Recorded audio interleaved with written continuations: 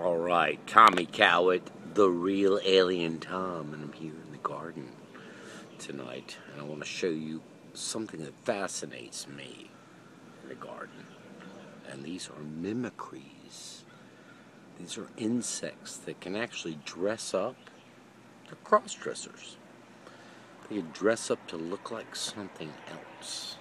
And it's fascinating to me, uh, the mimicry. But here it is a beautiful day.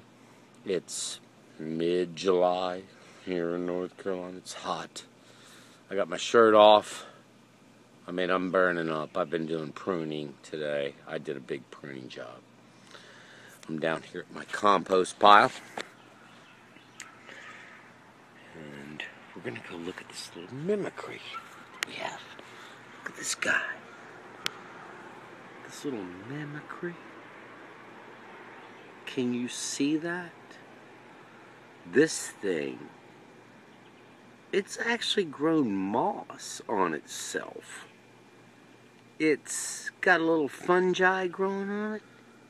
Now, I have no idea what this insect is, but this little thing is a trip. He is dressed up with all this armor on him now, what is he doing? He's like planted himself next to a stipule or something on this crepe myrtle. He's not moving. Let me see what I can do. Yeah, go. Dude, do something. No, he's not moving. I think he found out where he was going to camp for the night. I don't know. We'll check it out. Anyway, I'm having a great time here in the garden. As you can see, man, I've had a busy day with some pruning. Come home, come down here to the compost pile, which we're going to be doing a little episode here shortly on making bunny poop. And um, it's the jungle. And it feels like the jungle. But anyway, you guys have a great one. We'll be back.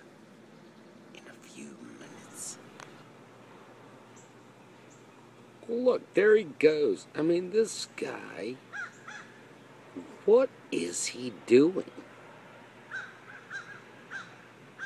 It's an insect that has completely covered himself with a camouflage material.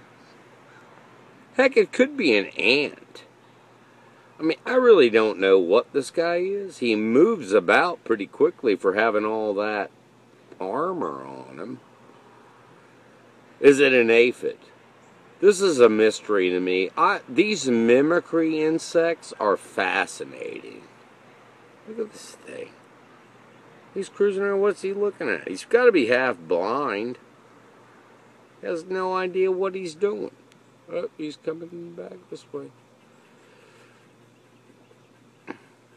Dude. Man, you are ugly. I don't think I'd, you know, want to uh, hang out with you.